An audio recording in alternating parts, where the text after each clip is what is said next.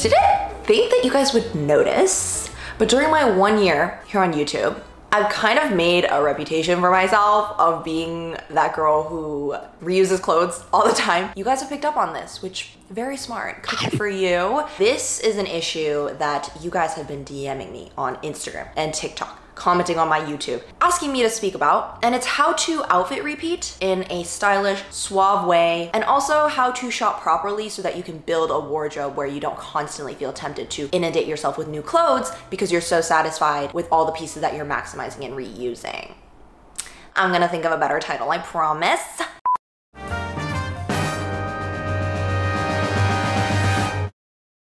Tip number one, take a moment or multiple moments because it's gonna take a little bit of time to decide on a color scheme for your wardrobe and stick to that color scheme. Why? Why should I do this? There's multiple reasons. First, once you decide on a color scheme, when you're shopping and you find a top that you really like, but they don't offer it in your color, can't buy, sorry. And your wallet will thank you and you will save so much money. Second is with a color scheme, it is so much easier to match and mix and coordinate multi-dimensional outfits from one piece because everything in your closet matches each other. Perk number three is if you choose a color scheme that is most flattering to your skin tone and your body, you love how you look in those clothes so much that it is psychologically easier for you to repeat outfits because you just really, really freaking like how you look. And you're probably thinking now like, Kaiti, yeah, cool, but that's such a grandiose concept. How the frick do I make my whole closet into a mood board?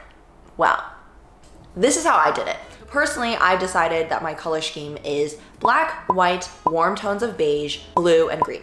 Now, how did I come to those colors, you may ask? So first, it is a little bit of trial and error, but a way to expedite this process is I thought back to all the instances where people would say, oh, blank is your color. Oh, I love this top on you. And I tallied up which colors was I wearing when people complimented me the most. Come to think of it, people would always say, I love blue on you. Light blue looks so good on you. Blue really makes your skin pop. I don't freaking know. And sure enough, whenever I take pictures in things that are blue, I love how I look. And on that note, let's provide an example of where I did the opposite and I bought something that was against my color scheme and I regret it. And it's this purple cardigan.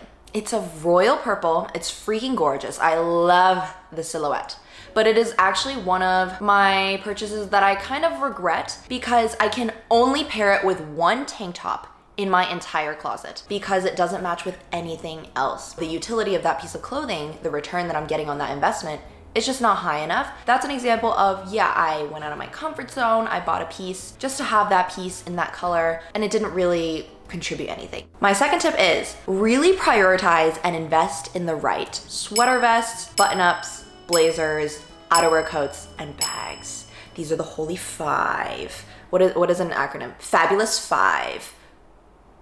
Furious Five, Fashionable Five.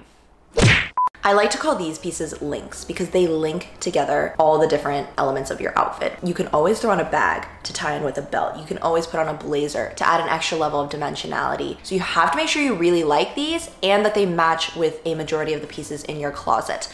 One example of this for me is the beloved houndstooth vest that you guys have seen like 30 times on my channel. There is no limit to what she can spice up. I can throw over a turtleneck, short sleeves, button downs, puff sleeves, dresses, blouses, hoodies, Seven already, and these are just categories. If you can add this vest over, you're immediately doubling the amount of outfit combinations that you can make, right? So I'm talking about those pieces. Tip number three is gonna sound really basic, but I promise you, I have my own spice that will make it a little less basic. Just kidding, nothing in this world is original, and I am only a cog in the machine. Anyways, don't follow the freaking trends. And I don't even mean what you see on Instagram. I mean what you see in your community. For example, I live in Arizona.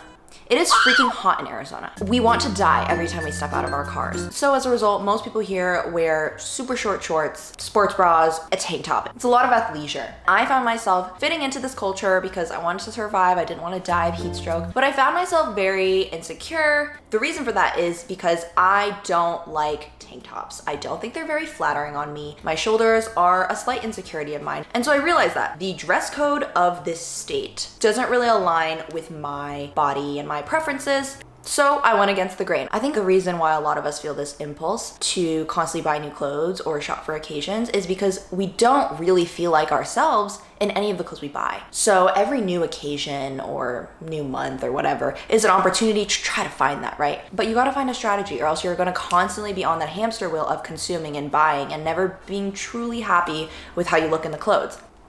I have a solution to this. You have to shop for your body type and decide which silhouettes are most flattering on you based on the parts of your body that you want to showcase and the parts of the body that you want to tone down or mask or hide. You gotta be honest with yourself. When I was pivoting away from athleisure, I took a moment to be honest with myself. I don't love showcasing my shoulders. I don't like showcasing my hips. So I stay away from silhouettes like bodycon. I stay away from tank top dresses, strapless.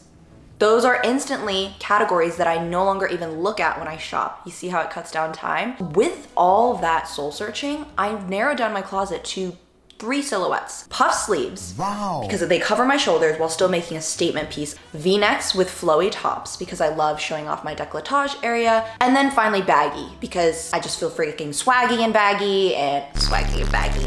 Bars. You gotta be meticulous.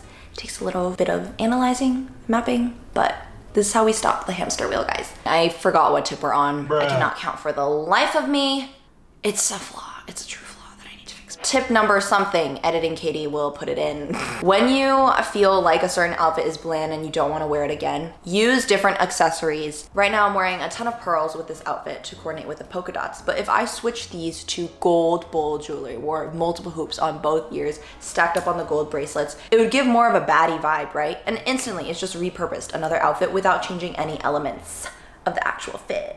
So accessorize, that's a quick additional tip. The next tip is whenever you want to buy something, put it on your wish list and sit on it. And there's a different rubric for statement pieces and normal pieces. For statement pieces, I sit on those for three months. And I do not buy it until three months have passed and I still really want it. Statement pieces are freaking like, you know that you can only wear this a few times a year because it is so vibrant, only goes with a few pieces. Everybody will remember it because it's crazy, but that's the beauty of it, right? For normal pieces, like a cute dress or a nice pair of jeans, I'd say one month. I've heard of people that make their wish list pieces their wallpaper on their phones and after staring at it every day, it really makes you question whether you really want it. My next tip kind of piggybacks and also slightly conflicts with the previous tip, but you'll get what I'm saying. When you find a piece that you are obsessed with that fits you like a glove, consider buying it in a second color that also fits into your color palette. When you're obsessed with a piece, you already have so many different outfit combinations. If you copy and paste that to a new carbon copy in a different color,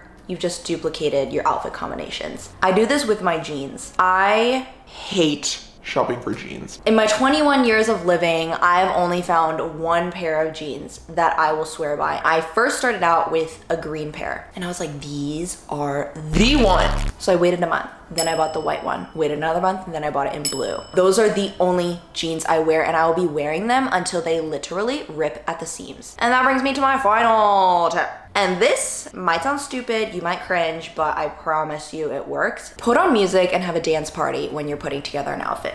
Alexa is my best friend. I have her play my twerking to this in my room 24 7 playlist and I have her blast those.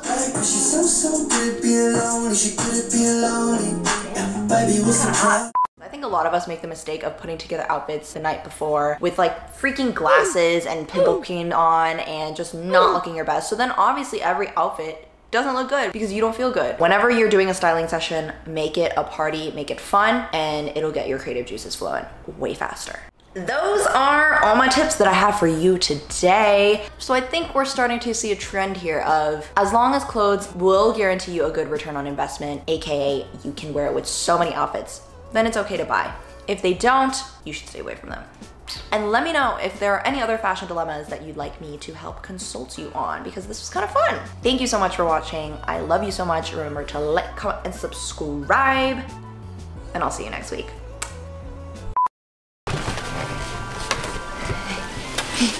What am I doing with my life? Oh, no. Oh, I missed it. oh, no. No. hey, you, it's... Where's my pen? Where's my pen? Hey, you, it's Kaiti Yoo.